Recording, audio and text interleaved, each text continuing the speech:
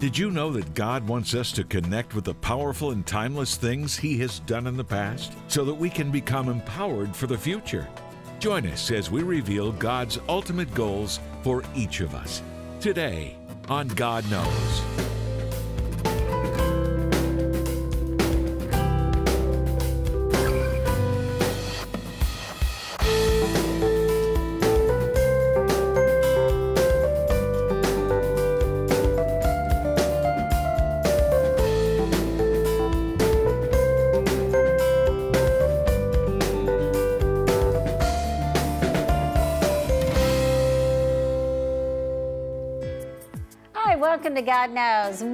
Are so blessed today to have some of our dear, dear friends and family.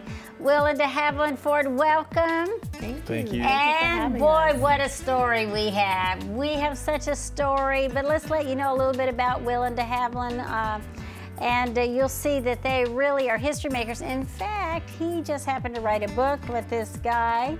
Dutch Sheets. They co-authored History Makers, and you're going to hear some of their story. Maybe some of you saw our show earlier, uh, the shows that we did with Dutch Sheets. But Will Ford, uh, is an intercessor, and he also is the new director of Marketplace Ministries. Is that what we call yeah, it? Yeah, director of Marketplace Leadership Major. Yeah. Leadership Major yeah. at Christ for the Nations Bible Institute, the very first semester. Yep. Yeah, no pressure, but yep. getting started there, that's a lot of curriculum to develop right there. But but it's very historic to have that. And you know, he has written other books created for influence and produced two DVDs, The Truth Behind Abortion, Truth Behind the Black Church.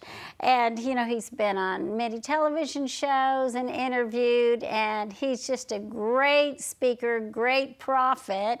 And de Haviland, you started 818, right? Yes, ma'am. And uh, that is from Isaiah 818, right? Yes. Yeah. And so what is that verse? My people it's, are... I and the children whom the Lord has given me are for signs and wonders, and it's in reference to um, the ending of abortion in the black community in America. Wow, that yeah. the child is the sign. Wow, yeah, yeah awesome. that's a pretty interesting topic. In a later show, we want to get into that yes. for sure. And, and the prayer movement and the African American church in the United States, pretty exciting stuff's happening. Yes, new generations are arising. Mm -hmm. So, you know, in this book, History Makers, you tell some interesting stories of this that we have right here, this black kettle. How old is this kettle?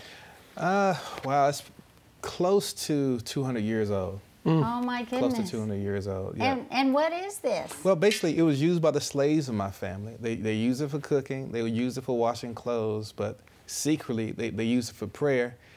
Um, and honestly, I hadn't thought much about it until I went to a conference in Colorado Springs, Colorado. That was a number of years yeah, ago, right? Yeah, back in like 2001. Wow. And uh, didn't know a soul there. And uh, this little lady named Cindy Jacobs was praying and prophesying over a guy named Dutch Sheets and another young man named Billy Osteen.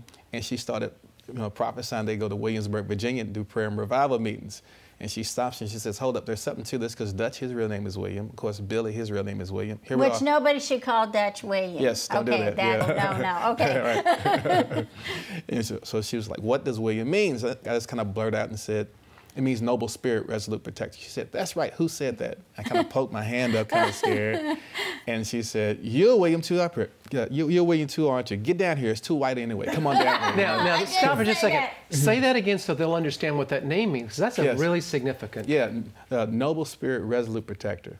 So basically, this is someone that, that I try to live up to, to being a person of character and nobility and uh, someone who cares about taking care of others, and it was resolute in their stance. So anyway, so so we're there and we don't know each other, but the Spirit of God falls on all three of us. We just begin weeping over each other. It was amazing. Never met each other before. And then Dutch looks up at me with tears in his eyes and says, I think you're supposed to do this prayer journey to Williamsburg when we do it.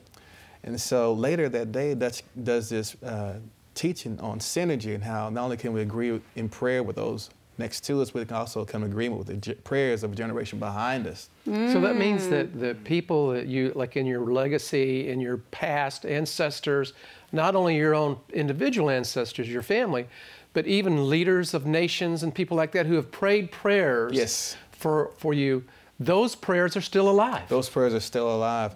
And, uh, you know, it's like with uh, Hebrews 11 39 and, and 40, it says, All these by faith, they were proved for their faith, but they didn't receive what was promised. Mm. So that apart from us, they wouldn't be made perfect without us. Mm. So there's this mm. whole generation of people looking over the balcony of heaven and say, hey, mm. Mike and Cindy, the heaven and the will, don't mess this thing up because God started something in us that he wants to complete exponentially through you.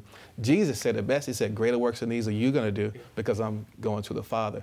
And so he'll start something in one generation and complete it exponentially through future generations. Mm. So it brought me back to this kettle because I remembered how this kettle was used in my family. Like I said, they were uh, owned by this uh, very wicked slave master in Lake Providence, Louisiana, who would beat him for any reason, and praying was one of them. So back then, hard to believe. Yeah, hard to believe. but uh, back then, they wanted slaves to be Christians because they knew that Christian slaves made better workers. But they pervert the gospel and say, mm-hmm. slaves be obedient to your masters if you want to go to heaven. Wow. And so, yeah, and, and if slaves prayed, they actually would, would, would beat them because they didn't want to, to foster hope then also, too, there were insurrections that were going around as well. Mm. But it's been well documented. If you look through some of the uh, na- slave narratives, uh, many times slaves were beaten just for having prayer meetings, sometimes beaten to death. Wow. And so this man who owned our family there would actually beat them if he heard them praying. He, he was so cruel, we had a, a, great uncle that went fishing one time without asking. When he came back on the plantation, he thought to make an example out of him. So he strapped him to a tree and uh, beat him until all the, you know, just his flesh would just pull out of his back. And mm. so that's how mm. cruel this man was. Mm. But in spite of this man's cruelty, and mm. because of their love for Jesus Christ, they prayed mm. anyway. Wow. They go into a barn late at night, take this black kettle pot in there with them, and they turn it upside down and prop it up with rocks so it'll be suspended off the ground about an inch or so. They lay flat on the ground, put their lips in between the opening between the ground and the kettle so that the kettle will muffle their voices as they prayed through the night. Wow. And the story they passed down with this pot is this, is that they didn't think they would see freedom in their time. So they prayed for the freedom of children in the next generation. And that was the word that when I called you up at Dutch's Conference years ago, the word was God is getting ready to answer the prayers of your forebearers through you. Yep. And that's what just wasted you. And I remember you were just weeping and weeping, and I was thinking, wow, that is a big reaction to that oh, word, yeah, yeah. you know? I, I, I, was, yeah, I was a wreck. Had you considered that before? No, you know, and honestly, that was before Dutch gave the message on synergy. Mm. So all this stuff, and then wow. he gave his message, mm-hmm. and everything just came together. Mm-hmm. Mm-hmm. And so this young teenage girl, she decided to keep that pot and this story in our family we don't know what her name is to this day, but she's the first one that freedom came to. Aww. So can you imagine what it must have felt like to be the recipient of all these other people's secret prayer meetings? all those years. Really so she's yeah, yeah, she's probably thinking about all those who are dead and gone. Yeah. She's probably thinking about all those who are too old to enjoy the freedom she's about to embrace. Wow. So she passed this down to wow. Harriet Lockett. Amazing. All the martyrs yeah, in the passed it down to Harriet Lockett. Harriet Lockett gave it to Noah Lockett. Noah Lockett gave it to William Ford Sr. William Ford Jr. And then my, my father, William Ford Jr., said that he, was, he remembered being five years old and Harriet Lockett telling him the story about how the slaves prayed in this pot while he washed clothes in this with his feet. Back then they didn't have washing machines. He just trumped clothes. Aww. And she would tell him the story how the slaves prayed for, for his freedom in there. Oh, that makes me feel weepy. Yeah. Oh. And so then he, he gave he gave it to me, William III. And so think about it, there was a whole remnant. There was a remnant back then of white Christian abolitionists and black Christian slaves that prayed into being the first and the second Great Awakening. Mm. And had it not been for those revivals, slavery would have never ended in this nation. So I think God left this for us as a reminder of the prayer bowls in heaven and a reminder that the same God who broke the power of Dred Scott, he can break the power of Roe v. Wade. He can put an end to the gang violence that we're seeing going on in the inner cities. He can bring a healing to, between this rift between the races that the enemy is trying to bring right now, yeah. between black, white, and brown. Yeah. Listen, I just believe that God wants to have us unite right now like never before to see the prayer bowls in heaven tipped over America, tipped over Guatemala, tipped over Russia, tipped over. There's a prayer bowl over every nation, is yeah, what I'm saying. Yeah. And I think there's a global harvest that God wants to release I in do this too. hour. And awakening. Yes. Oh, and a global awakening. You know, some of those things that Will was talking about, Roe versus Wade, Dred Scott, these were these were decisions our Supreme Court made that one mm-hmm. uh, legalized abortion. Dred Scott was separate, yeah, but Dred, equal. They yeah, called it. Well, yeah, Dred Scott was uh, basically the, the, the, Supreme Court case that everybody thought filled the, the, the, the state of slavery in America and thought, hey, this thing is never going to turn, mm. you know. Mm-hmm. And so, mm-hmm. yeah, it basically said that, this, that, that, that the slave had no rights in the courtroom. Mm, mm, wow. Yeah. Yeah. So I mean, just just horrible. Oh, that was the board of directors versus yeah. something the separate. Brown versus the board yeah, of education. Versus, mm-hmm. Yeah. So anyway, yeah, but but so you came to Dutch after this this word, God's going to answer the prayers of your forebears mm-hmm. through you. He preached Center to the Ages, and yeah. then could you go to Williamsburg with him? Uh, Virginia, yeah. which is very historic in our history in the U.S. here, you know, mm-hmm. for our our freedom fight. Mm-hmm. And so, um, you offered to do something, didn't you? Bring yeah, we offered to bring this yeah. along, and we thought he thought, wow, you know, should we even who would do something like that, you know? And, yeah. and didn't want people to, you know, take it the wrong way. And so he was praying and said, God, do you really want me to take a kettle pot around the country, throughout New England and the Northeast to pray for revival? Mm-hmm. So he and Lou Engle were together and they were talking about this. And then Dutch's Bible fell open to Zechariah 14 and, and 20, which says, and the cooking pots in the house of the Lord oh. should be like the bowls before the altar. Oh, wow. So here's this cooking pot that's caught multiple prayers, the same as a bowl in heaven that catches our prayers like incense. Wow. So Dutch came back to me later on. He said, Will, wouldn't it just be like God and His justice and irony that He used the prayers of a slave generation to free a nation up for revival again? Wow. And so I believe that's, that's true. Yeah. yeah. Did you write about that in History Makers? Yeah, all that's yeah. in, in, the book History yeah. Makers. Yeah. You know, this is an this is an incredible journey, and so they took this black kettle. Did you take it like all across the East Coast? You went to Williamsburg. Yeah, went to uh, all throughout New England and the Northeast. Yeah. Yeah. Did you go to Harvard? Yes, we did you go to, to, Harvard. Harvard yeah, went to a lot of the Ivy League schools, uh, Princeton, Brown, and. Um, yeah, it was amazing, amazing. Uh, yeah, I, in fact, I was there when you were in Williamsburg, Virginia, and you went to the site of the first black church in the city. Yes. And this was turned over for the mm-hmm. first time and they held it up and I was going, oh Lord, don't let them drop it because you and Dutch crawled underneath and prayed yeah. underneath this kettle together. I mean, we prayed under this kettle together, black, white, red. I mean, we had uh, Native American pastors with us there yeah. too. Uh, we washed feet in this kettle pot at different places. You know, all the races. It was it was an incredible thing, and, and now here we are uh, working together, Christ for the Nations. Now he's too. the director of Christ for the Nations, and you're the director of this new Marketplace third year school. It's yeah. full circle, isn't it? It really is. And it was the Marketplace people back during that time. They were the ones that were the spearheads for revival. I mean, you and know, the abolitionist movement. And, and, and the abolitionist yeah, movement, yeah. yeah. Charles Finney, a lawyer, Jeremiah Lanphier, businessman, starts a little uh, uh, prayer meeting there in New York. I mean, it goes nationwide. Yes, a million people is swept into the kingdom of God because these people in the marketplace, God used them in a profound way. Yeah. You know, I just, well, as we've been talking, I have over and over had this sensing that that there are some people watching this show and you know maybe you're from the West Indies and and uh, you're you're there in in England or you're Afro Caribbean or, or Afro Canadian or whatever it is, but you are just gripped by this story. And the Spirit of God is just all over this thing for you. You know, uh, and we were talking about uh, being assigned to a generation. Yes. God has been speaking to us over and over that there are young black leaders worldwide that God's going to use for awakening. Mm-hmm. That this is a new generation, this is something so unique. And I feel like the Lord is showing me, Will, that when you made that prayer journey, those seeds that are in the ground started not only a movement there in the Northeast, but it's a worldwide movement. Well, I would and, believe that. And that it's going to affect, and that there you are at Christ for the Nations, and what there are at least 50 or 60 nations wow. represented there at the school here in Dallas. Mm. But God is going to take these prayers and empty them out now upon a whole generation. So I want you just for a second, I want you to look into the set, and I'd like both of you to pray and just raise up that generation. All right. and, and, uh, here's what I want to tell you, too. Look, if my ancestors have been Muslims or Buddhists, I have no connection to this part of its history. But because they were Christians, not only these my ancestors and forefathers are yours, too. In other words, I'm just as much a spiritual son of Jonathan Edwards as you are of William Seymour. That makes sense because we're connected by the blood of Christ. So let's just pray right now and just agree.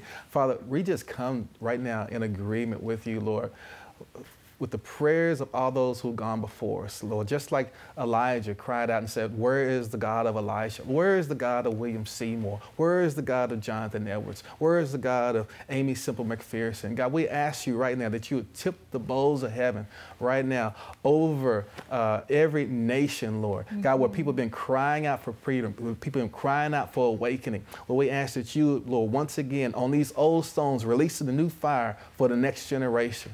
Lord, we got uh, more information than we've ever had before with uh, uh, uh the internet and everything else. We don't need persuasive words of wisdom, God. We need power and demonstration of the Holy Spirit, something that's more powerful and compelling than MTV or BET or uh, Twitter and Facebook. God, would you raise up a generation that seeks your face in Jesus' name? Yeah, and I just want to speak to a generation of young people that maybe you don't know your history, maybe you don't, there's nothing that's been passed down to you, but Jesus has passed down something. There's a prayer bowl over your life, yes. and the Lord wants to tip it in Africa, He wants to tip it in China, mm-hmm. He wants to tip it all over the nation, and where you become that, you become the intercessor. So we just just pray right now for you that God would spark a fire in your heart, yes. that you would begin to find your destiny in Him and even your inheritance and your legacy, that you would leave something because you may be saying, well, I don't, I don't know where I'm going. I don't know, but I just pray from this program, God would begin to open up your heart and your eyes to what He has for you mm. in your mm. own personal destiny. Amen. You know, and I see some people, and you're just shaking under the power of God. And the Lord says, Mark this day, mark this day. For God says, Today you are marked as a sign for a generation. The Lord is saying, Yes, you are called to be a revivalist. Yes, you are called to release holiness into a generation, to be one that is a change agent and be a history maker. You know what? Will and Havilland, and Mike, it's time not just to talk about being a history maker or sing about it, but to be a history maker. Amen. This is really, really important. And I feel that, you know, that we need to just tag on to that. All of us really are history makers. The, the question is, what kind of history will we write? Wow. Mm-hmm. mm-hmm. You know, because all of you out there, you're writing a history right now as you live your life day by day. And you know, Uh, if you look in the Bible and you see these stories of these people who rose to the top in a time of need and did something magnificent, if, if you look, at that was just maybe like a day or two days of their life sometimes, sometimes just a few moments of their life. So the, the thing that's so outstanding about them is not only that they rose to the top, the reason they were able to rise to the top is that day by day, they were building a legacy for the future. They were building a legacy for us even today, those who lived generations and generations ago. And we can take joy and comfort in that. Yeah, you're going to yes. be a history maker. And you know what we're going to do? We're going to come back and we're going to make some modern day history. We're going to prophesy over you in just a minute, get the word of the Lord. You're going to take it and you're going to change some things for your nation, your neighborhood, your family. Get ready to come back and hear the word of the Lord. And we're going to tell you what God knows about your life. So stay tuned.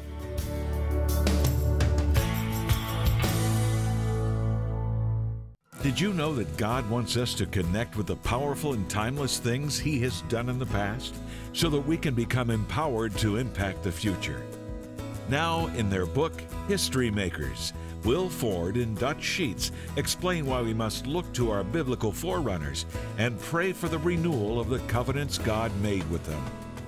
As you read its pages, you'll discover the powerful effect of joining our prayers with the prayers of those who have gone before us and how it moves us toward God's ultimate goals for each of us. You'll also learn how God ordained that you should thrive because of the countless opportunities for prayer and revival present in this day and time. And you'll gain understanding of how to connect your prayers to the past, shaping the outcome of the future and turning it back in God's direction. As a thank you for your special gift of $20 or more, Mike and Cindy want to send you a copy of History Makers by Will Ford and Dutch Sheets. They also want you to have a copy of Cindy's CD, How to Hear God's Voice, a practical and biblical message that explains how to discern God's voice and follow His leading. It's the faithful financial support of friends like you that enables Cindy and Mike to take the prophetic Word of God to so many searching hearts around the world. And your gifts help keep the God Knows television program coming to you every week. Call or click now with your special gift of $20 or more. And as our thank you, we'll send you Will Ford's and Dutch Sheets book, History Makers, along with Cindy's message on CD, How to Hear the Voice of God. Call or click now with your special gift of $20 or more. Welcome back. The Holy Spirit is just moving so beautifully. I see a young man, and you are in England, and you have been gripped by the story of William Booth and the Salvation Army. And you have just been saying, God, use me to burn like Booth. Give me souls, give me souls. And you just can't believe it that you've turned on the television set on God knows. And here we're talking to you. The Lord says, That is your call. You are called to be a revivalist. God's going to give you a harvest of souls. Just go for it. Yeah, and I just felt like there's someone um, that feels like, you know what, I'm the only one. I'm the only one in my school praying. I'm the only one standing. But sometimes all the Lord needs is one. It was one person mm-hmm. who took that kettle pot and prayed under that pot. Mm-hmm. And God is calling you. He says, You are the one. I see a young lady, 14 years old. He said, You're that voice. In, in Jesus' name, I pray that over you now. Amen. Yeah. Jump in there, Will. Yep, and I just see on, on historically black college campuses right now, prayer furnaces being raised up. I see them ra being raised up in Tuskegee, Morehouse, others across, uh, across this nation. I also see them being raised up in Spelman. I also see uh, houses of prayer being raised up in colleges and universities, even in, in England, uh, parts of Europe. There, there's some of you there uh, who, who are connected to what God did with Sunday at, Adelaja, and God wants to raise you up to be the next one to go into these rough places from, uh, from your country. They're in England, to go into Russia, to go in rough places in Albania, to be sent as missionaries, intercessory missionaries that are going to start apostolic movements in Jesus' name. Amen. You know, Cindy, this is exciting because I'm sensing Europe that there's a special anointing yeah. on yeah. Europe right now. Yeah. And, and as you're watching, you may be saying to yourself, this is what I was sensing. There are people who are watching, they're saying themselves, well, there's no one in my generations that even prayed that I'm aware of. That's the whole issue. There are people in your generations that prayed for you and you don't even know it. You can know this. You don't have to know it because, uh, because even if you didn't have knowledge of it, you need to know that there were people that were praying for you. You wouldn't be where you are today if those people hadn't been praying for you. Right. So start your own kettle tour if you want. If you want to do it. In other words, if there's not been something that you know in the generations, establish something in the generations. This is your call today. You're watching today. Look what God can do and what He did in this kettle through generations. Start it today. There's someone watching, you're a young woman, and you're just going, I want to preach the gospel too. And you just can't believe it. Right now, here I am. I'm talking straight to you, and the Lord says, Yes, preach the gospel. God is calling you, anointing you preach it. I just pray right now in the mighty name of Jesus for the anointing yes. of the Holy Spirit to fall upon you now. Mm. Just take it right now. Take that anointing, take the fire, take the glory. Let the anointing of God fall on you. To heaven, you got and something? I just, I just see uh, specifically England. I feel like in England that you're hearing this thing about William. There's a William Wilberforce anointing yes. for abolitionists that God wants to release out of England. And I saw, and I'm stepping out on a limb here, but I saw someone by the name of William. That's not an accident. You're watching this program. Yeah. There's legacy even in your bloodline, and we just want to release that abolitionist call to justice for life in England and a revival amongst teenagers in Jesus' name. I tell you, I, the Lord is showing me that there are people that you've seen, Lord, I want to go to Bible school, I don't have the money. And the Lord just says, the money is there, just believe, go ahead, step out. God's going to provide the money. I see that there's somebody else watching, and it's very interesting. Your name is George, and, and you have just been praying to God. I, I literally see someone named George on your knees praying. You're just crying out to the Lord Jesus, and the Lord just says to you, I have heard your prayers. Don't be afraid. Provision is going to be there for you. Do you have mm. something to add? Yeah, to Cindy, you know, what I'm sensing is this. Uh, what I was hearing was that it's, it has skipped a generation. Now, what, here's what it means. There's someone out there, maybe so, someone's out there, where you've heard in, in your generations, but not your parents, but before that, your grandparents and before, were very spiritual and had a very close connection with God. Mm. And, and yet it skipped a generation. It's like your parents, and it saddens you. Your parents didn't have that. And so it's been a tugging uh, in your life.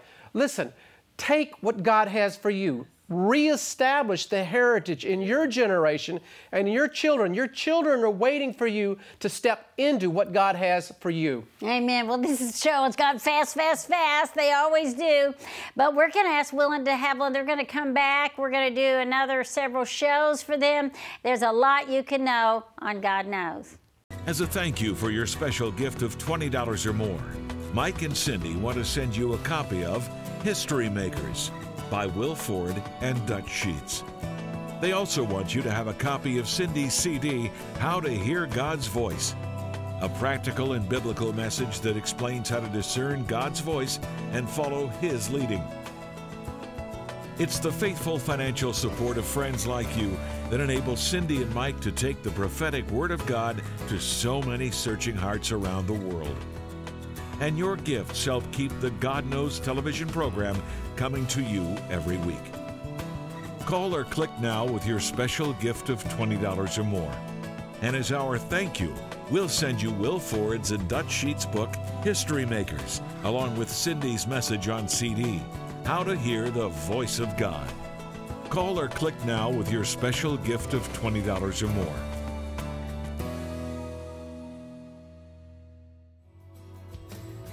God do something miraculous in your life that you'd like to share with us? Send us your story when you write us at story at godknows.tv. We face a critical moment of decision. Without a change in direction, the United States will accelerate into unstoppable decline. Will this nation remain a city set on a hill, or is it headed over a cliff? It's time to make a stand. That's why we must take two critical steps to pray and to act. The United States Reformation Prayer Network is a 50 state union bringing you strategic state and national information that you'll need for effective targeted prayer.